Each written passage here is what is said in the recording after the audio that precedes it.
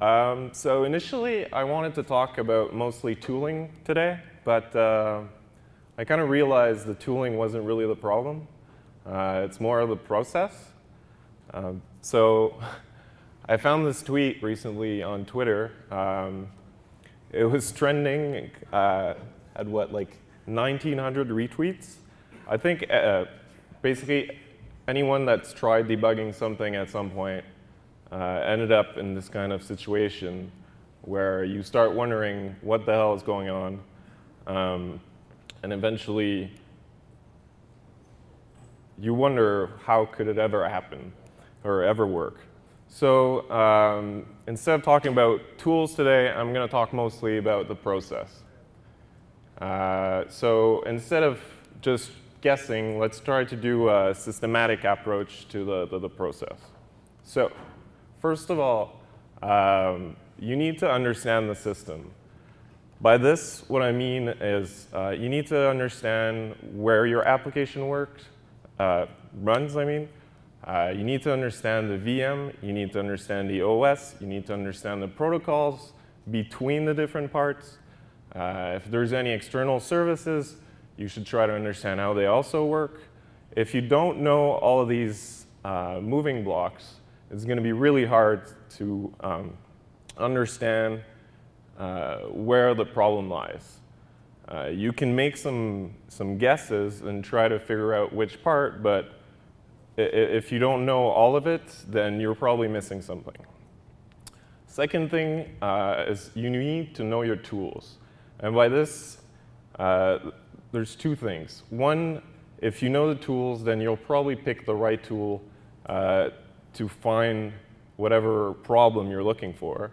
And the other thing, um, which is more kind of a tip, but you should always experiment with the tool before you end up in a situation where it's 6 a.m. or 5 a.m. and you're trying to find the bug. Uh, play with the tools in the production environment and experiment. Uh, another point is you need to understand what were and what are the requirements when the code was written. It's possible that it's not really a bug. Uh, in fact, maybe that's what it was supposed to do back in when it was written, and now it seems like a bug because it's not the expected behavior anymore. The second step is to reproduce the bug. So how can you do that? First of all, uh, there's a couple of things to look for. Uh, is there a special function input? Is there uh, a state, a special state that you need to be in? Could be an invalid state or some special environment variable or some OS setting. Um, now, if you're lucky, you'll be able to reproduce locally which will uh, help you uh, debug more easily and uh, without having the risk of um, damaging the production environment. Uh, if you're dealing with money, if you're, you start tracing stuff, it slows down, request might timeout, and you might be losing money. Uh, so if you're able to do it locally, it's always something uh, that you should try first. If it doesn't work, then try doing it in production. Uh, and like I was saying, uh, if you're able to reproduce, it's much easier uh, to test because you'll be able to iterate uh, way faster uh, to um, either um, to either figure out if your hypothesis is right or not. Uh, also, having a test case or a way to reproduce it will make it possible to validate that your fix is correct at the end. Third step is collecting data. Uh, before you start going crazy and tracing everything, uh, take two seconds and go on Google and search. Uh, often, uh, you'll find the bug, and someone's already going to have like fixed it for you. Uh, then if you're not lucky and it's not there, uh, don't jump to conclusions too fast. don't take guesses, use observations. And by, by using observations, I mean either um, use tools to find more data or just use logic uh, and build, build empirical um, decisions. Um, collecting data can be sometimes uh, dangerous. If you collect too much data, then uh, the problem is going to become even more complex. So you have to really, like I was saying before, pick the right tool for the problem and uh, limit the, the amount of data. Uh, you also kind of have to filter out the noise. Uh, and by this, I mean you might be uh, timing something in the VM, and uh, unfortunately, there's another process on the box that keeps uh, making you context switch. You can't assume that that timing is right. So sometimes you have to filter out some of the data just because you're not controlling the full environment. Fourth step is to use process of elimination. So basically, you have to divide and conquer. Uh, you start with macro observations. Uh, so are all the servers affected? Is it just one data center, all data center? Uh, are you talking to an external service? Is that external service running in multiple data center on every box? This way you can correlate uh, and figure out if it's like a global problem, pro problem or just affecting one node. Uh, from there, using data, you, you want to narrow down your search um, and always try to pick uh, the one point where your observation will reduce the search path uh, the most. Uh, you have to watch out, though, because sometimes you'll have multiple bugs, and uh, one bug might be hiding the other one, and uh, you might miss it. Next step, uh, which is more of a tip, you want to change one thing at a time. If you change multiple things, uh, you won't be able to correlate anything. And um, one of the strategies we usually uh, use if we want to go quickly about debugging uh, and do multiple changes is that we'll use different branches and deploy one branch per box. This way, we can still uh, do many observation and test many things at the same time, but uh, we still have uh, results that we can correlate. The next point, um, keep an audit trail.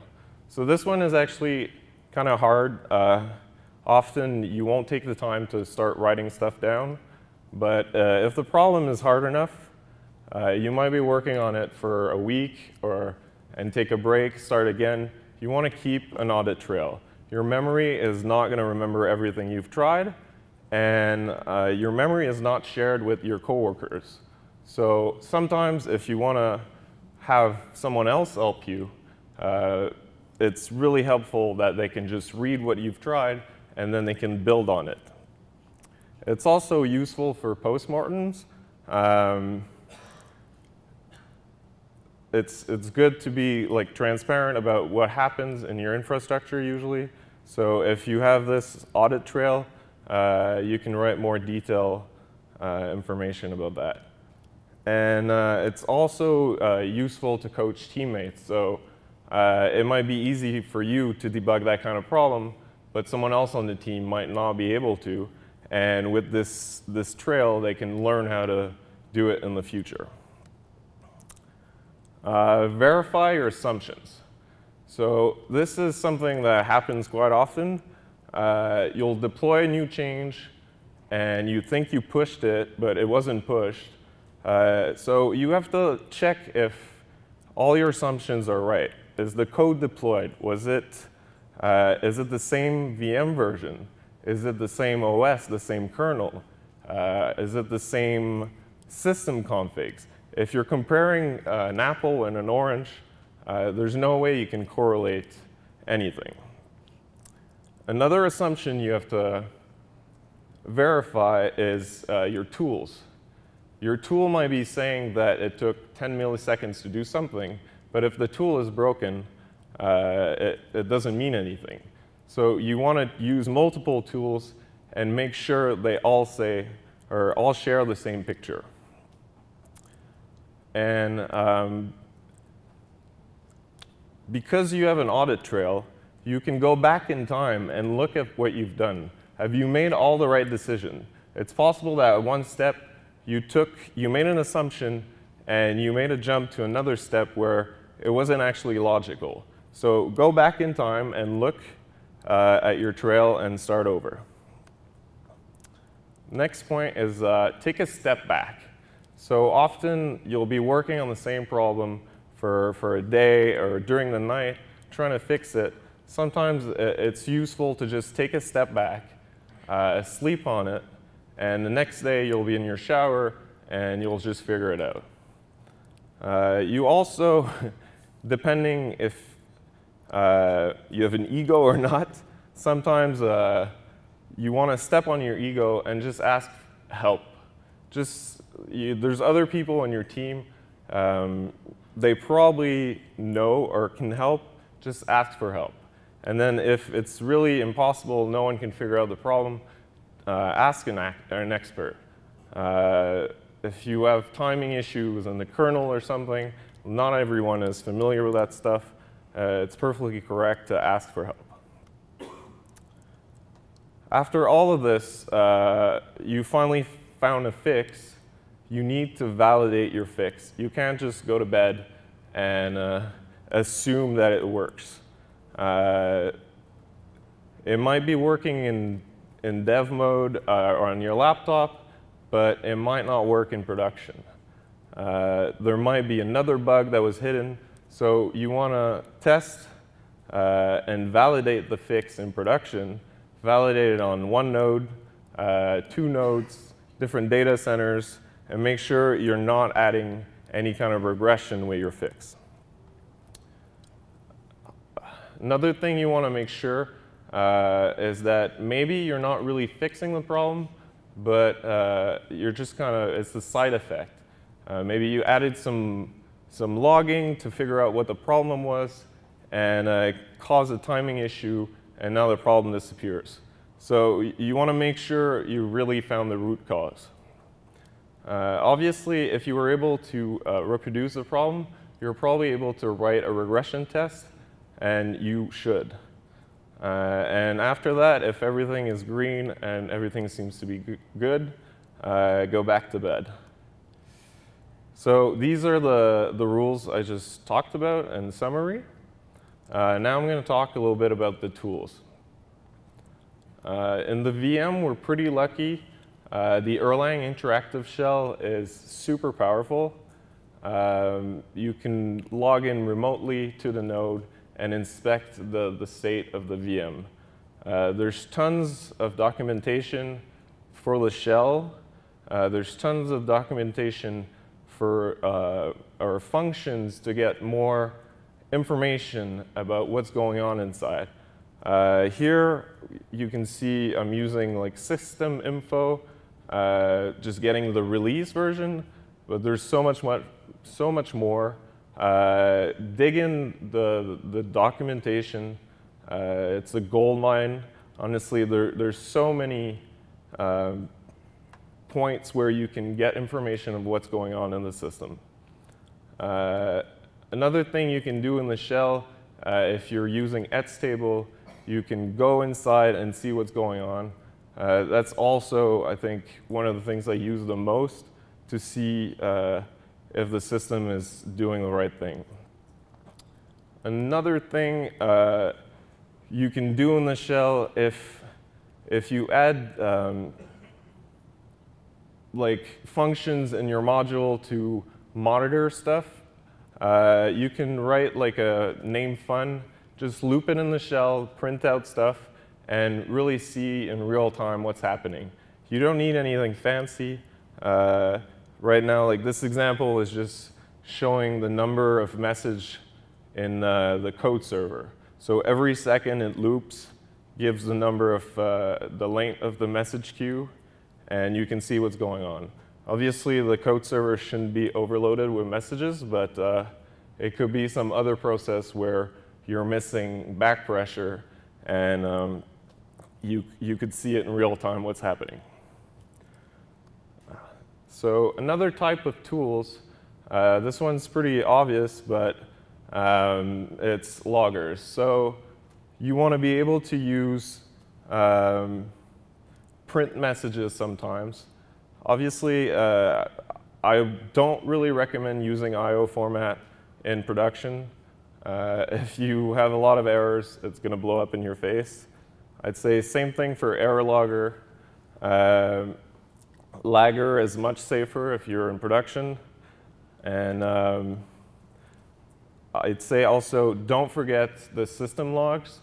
If you're getting seg faults or it's getting kill out of memory or whatnot, you'll find messages uh, from the kernel.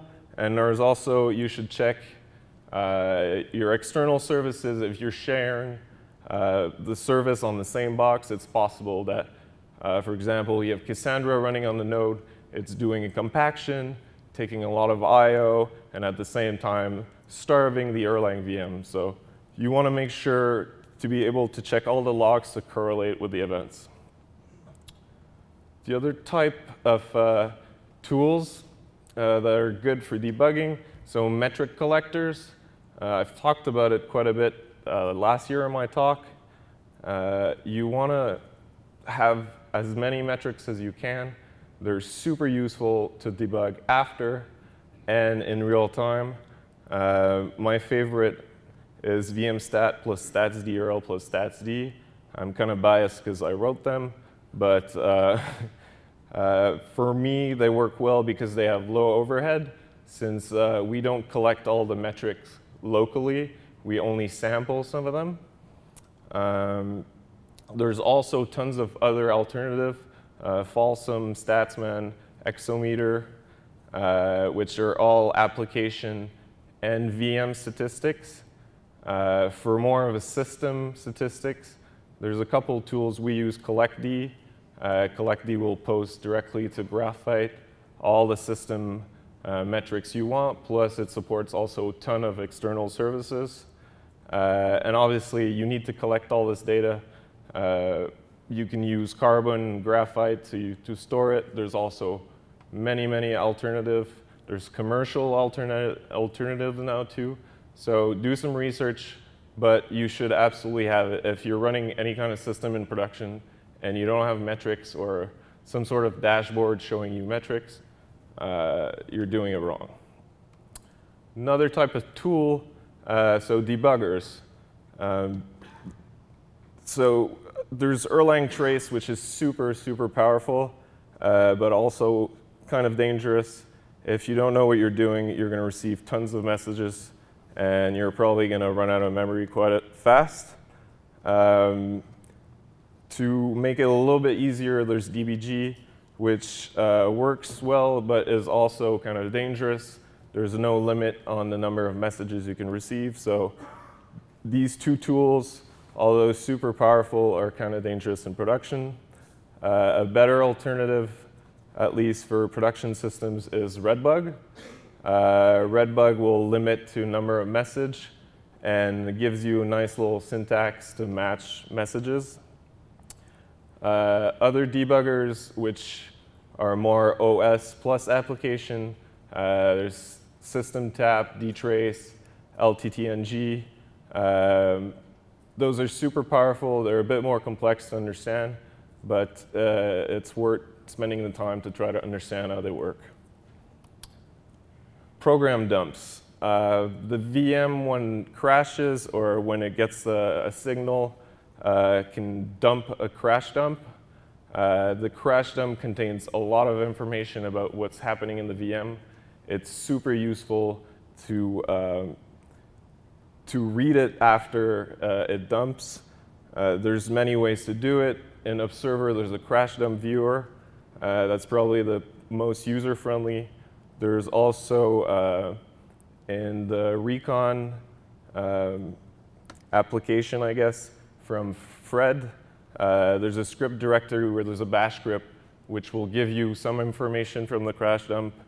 And uh, if you're a little bit more familiar with uh, Unix tools, there's, uh, it's mostly strings, so you can cat grep uh, and usually find all the information you're looking for in there. And then if you're doing the NIFs, uh, core dumps, or if you're getting like some seg faults in the VM, it can be also very useful to understand what's happening. Profilers.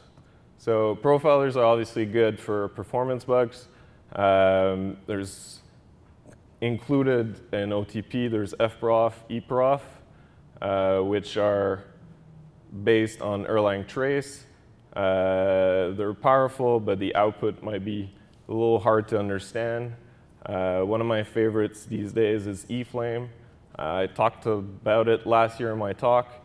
Uh, now what we do is actually, since most of our services are HTTP servers, uh, we have an endpoint where I can go on it and I just get the SVG in my browser and I can just uh, profile random requests uh, happening.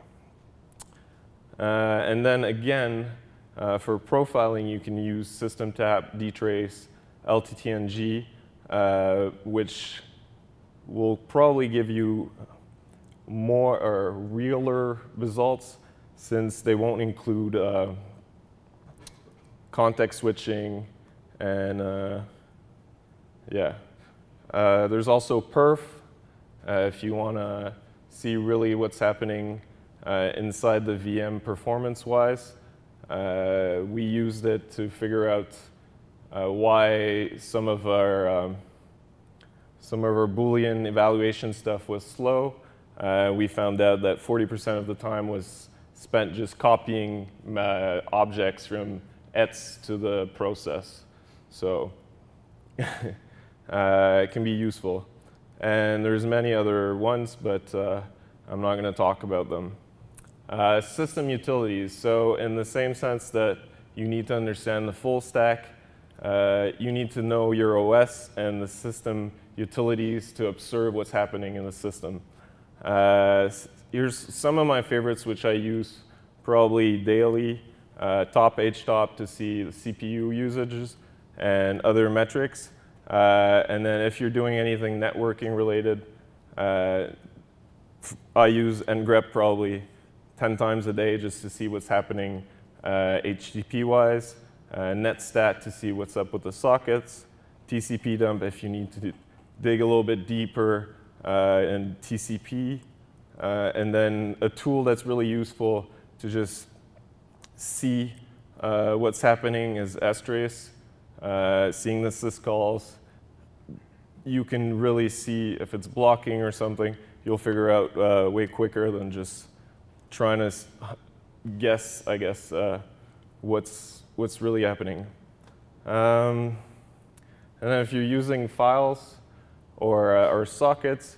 Uh, IOTop will give you uh, I.O. information, um, and LSOF will give you the files opened, or the files. Uh, those was just like a small, a really small sample of utilities you can use. Uh, there's tons of performance and Linux uh, observability tools uh, I can't recommend enough Brendan Gregg's book. Uh, if you want to really do anything performance-wise in Linux or uh, BSD, you should really read his book. Uh, there's so much information. And uh, yeah. Next, uh, static analyzers. Um, those good for typing bugs. In the, the Erlang ecosystem, there's Dialyzer. Uh, if we were using a type language, then we wouldn't have this problem, but um, Dialyzer is really, really useful. Uh, there's a lot of documentation online on how to use it. Uh, so if you're not using it, you should start using it. Tools for the bug. Uh, so this is a summary of what kind of tools you should use um, for types of bugs. So for logic bugs, uh, if you didn't understand the specs or you just did a mistake in your logic, debuggers, loggers, and the shell can be useful. Uh, if you did a mistake in typing, uh, debuggers, shell static analyzers uh, will help you for resource bugs. Uh, so if you're leaking memory, leaking files, metric collectors, program dumps, shell, system utilities will show you. For performance, uh, again, metric collectors, shell, system utilities will be super useful. So uh, if a request crashes and no one is around to monitor it, does it trigger an alert? Uh, by this, I mean you should really be monitoring everything. Uh, obviously, you don't want to trigger an alert for uh, everything because you'll never sleep. But uh, if you don't monitor it, you'll never know it's happening. So uh, I'll go over some examples of uh, debugging I do, uh, or I've done, or someone in the team has done. first example, this little chat excerpt. so I woke up the morning, go on the chat, and um, read a little, little, this little snippet where uh, my boss says the numbers and the reporting UI are completely fucked. Um, so uh, where do we start from there? So before I go deeply into the problem, um, uh, you have to understand the full scope of the, the, the stack so the reporting, this reporting UI has a web application which stocks a reporting service, which stocks an analytical DB, which gets filled up by an ETL, which uh, comes from logs, which comes from a backend server, which comes from HTTP requests that comes in. So if you don't understand all of this, uh, it's really hard to pinpoint where the problem's happening. And um, it's going to take more time uh, you're going to spend a lot of time just turning in circles and not really finding. So for this example, uh, what I did, I checked, first thing I did was checking the numbers in the database. Um, and the numbers in the database were not good. So I concluded that it wasn't an application bug and it wasn't a reporting service bug. Then I looked at the logs. Were the logs good? No, there was missing events. So it wasn't an ETL bug. So basically now we had, it could have been uh, just a backend server bug, or uh, there's just no request coming in, so the numbers uh, shouldn't be there in the first place. So uh, the next step was to go check the backend server and see if the data was being aggregated. So I validated there was actually requests coming in, and then I went in the shell uh, got the, the TID of the table, and then did a tab2list on it. And then I saw the table was full of data. So obviously there was something wrong uh, with the data coming out of ETS and going to the, the disk. So at this point, it could have been either uh, serializing this data to JSON, or it could have been the way we log the data on disk. Um, I assumed that the way we uh, save the data on disk was OK, since that's the same way we use everywhere. Uh, and we haven't changed the code in like four years. So uh, let's look at the way we uh, serialize the data. So for this, I used Redbug. Uh, I traced the one function which is called, and uh, the function runs every minute.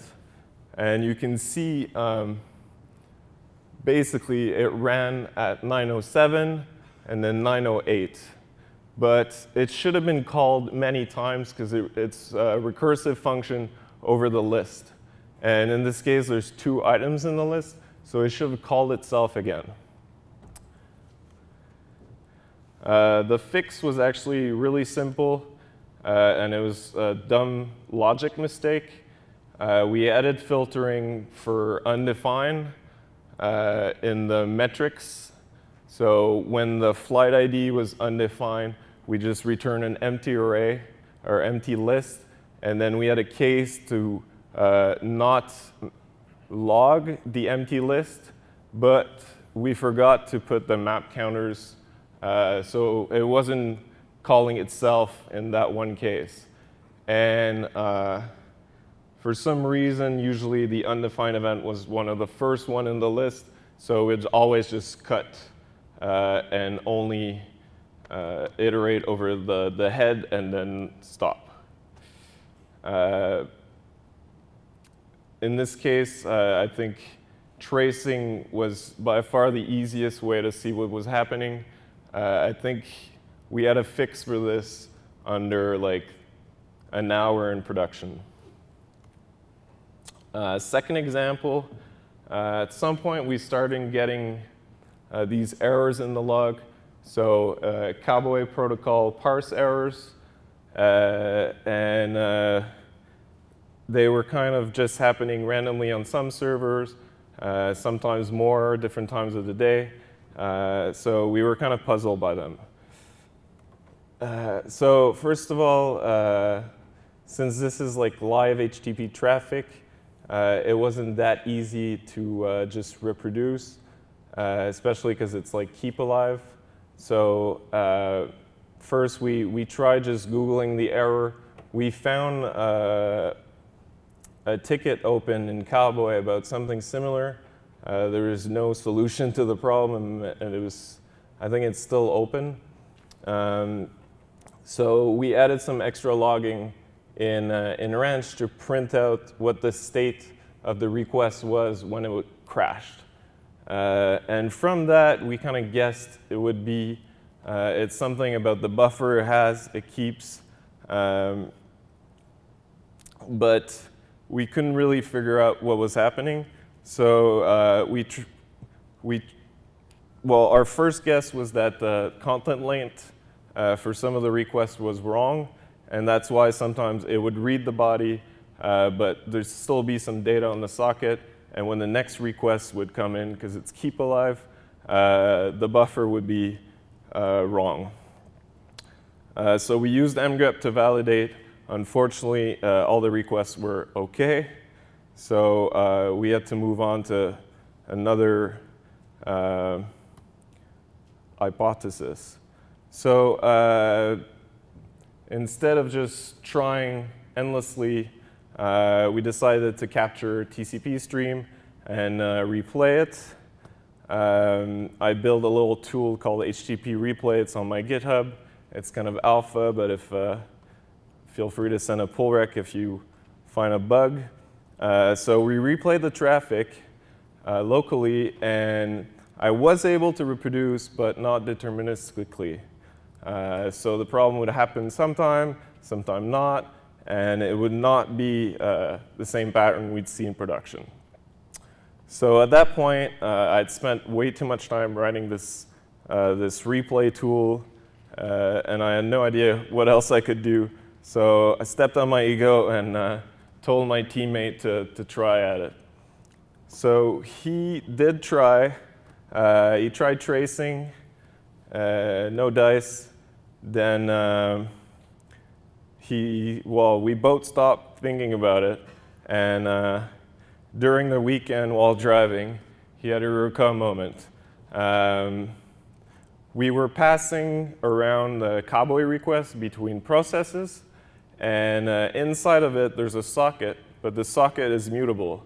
So if you do change, or if you do read from the socket, uh, that one request object that was in the previous process will not change its state, but the socket itself will change. Uh, this is kind of the pattern we use. Uh, so if you're not familiar with Cowboy, uh, there's the ranch acceptor, which accept connections and spawns a Cowboy protocol uh, with the socket. This Cowboy protocol will call the, the handler. And in our case, because we have a pretty strict timing requirement. Uh, we spawn another process that will execute and try to build a response. And if the response is not uh, completed in time, we send a default response back.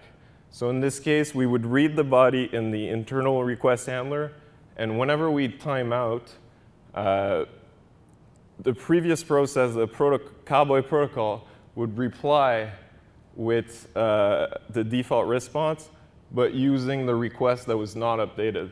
So that request object or record uh, would have the state that the body wasn't read, but in fact it was read. And the next request that would come in on the keep alive uh, would be borked.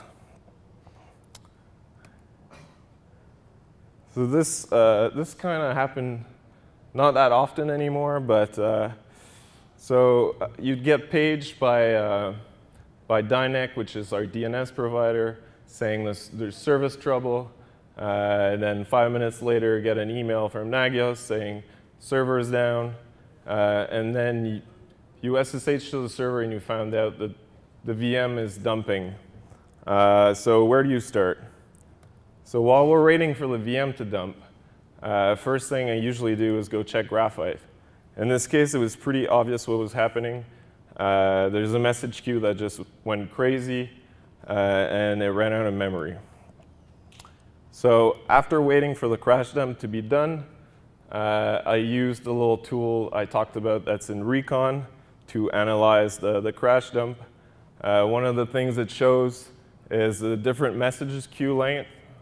Um, so in this case, there's one process with 1,400,000 messages, uh, seven process with two messages, 22 process with one, and like 10,000 with zero. So it's pretty obvious that probably most of the memory was in there.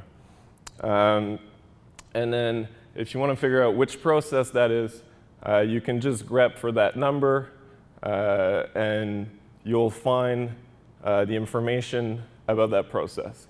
In this case, uh, the process was the Anchor server, which is a client we use to talk to Memcache. Uh, so I looked at the code after, uh, and the code is pretty simple. This is obviously a simplified version, but it's just a proc_lib that loops and handle messages. There's really two messages it handles most of the time unless the connection goes down. Uh, one that sends and one that receives. The receiving one is non-blocking, so the most, the, the, most likely culprit is GenTCP send. Uh, so what happens if GenTCP send blocks? Well, in this case, you pile up messages. Um, so next step was to validate that GenTCP can actually block. A quick Google search will tell you that it can. Uh, you can also uh, validate yourself by cre creating a little uh, toy server that will accept and keep its, uh, its buffer full so you can send to it. Uh, how do you fix that? There's a couple of ways. Uh, you can mitigate by using the send timeout option, uh, but again, if there's too many and the timeout is not low enough, uh, you can still grow your queue. the real solution is to add back pressure. Yay, unbounded queues are fun.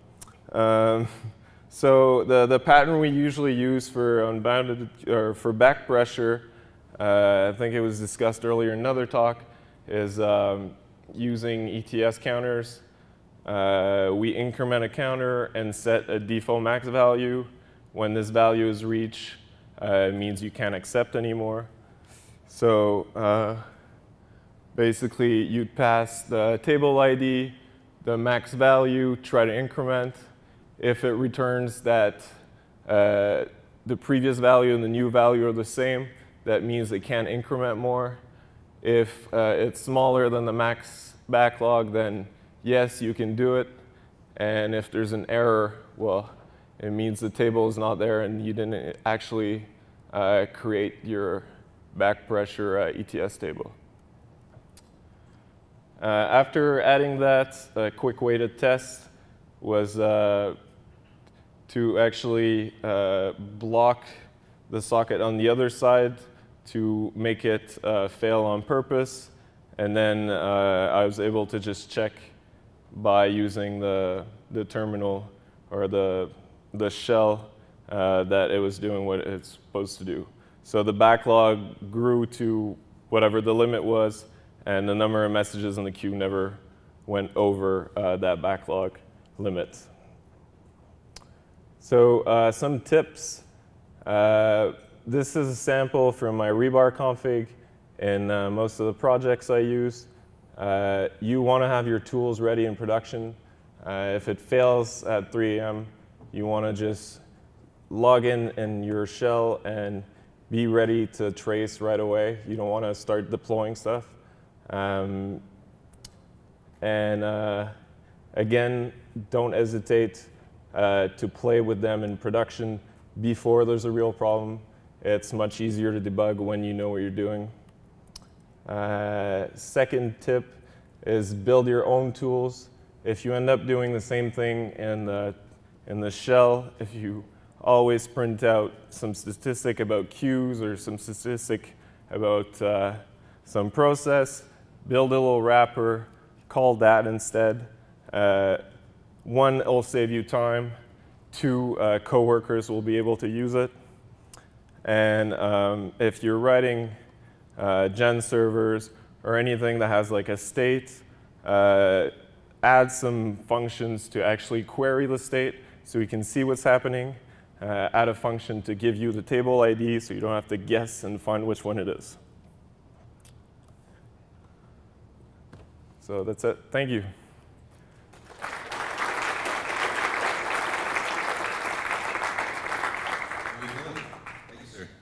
Questions in the audience? No questions in the audience? Everybody's tired. It's the end of the day. Uh, I have a question. So, other than uh, Erlang, what other production language experience do you have? Uh, I've done a lot of Ruby, uh, some Objective C, Ooh. some C, some Java. How is it, so, in terms of debugging a complex Erlang application, how does it compare to some of those other experiences in other languages and other ecosystems?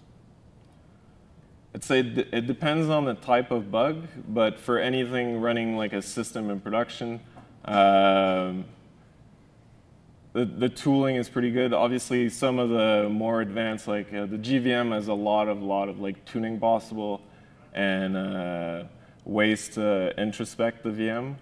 So, and I, am not that familiar with all the tools, uh, but compared to most language, I think it's it's up there. Like there's no, uh, it's not missing anything. You didn't find the error messages just generally appalling in Erlang? Yeah, well, I think I think this is one of the lessons you learn really quickly. Uh, it, it, it, did crash quite a bit. Uh, I think the first three months we wrote the service, uh, it was crashing maybe uh, one node a day would crash with error logger stuff. But uh, eventually lager came out, and uh, we also put some fixes in places. But yeah, that, that's maybe one place that could be improved. Cool. Any other questions? Sir in the front.